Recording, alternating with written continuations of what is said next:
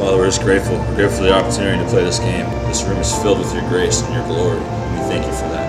The successes that keep coming from this program are phenomenal, and uh, it's just a start. Okay, it's just a start of something special. There's a turnover taken away by Fleechek. Alex Fleet!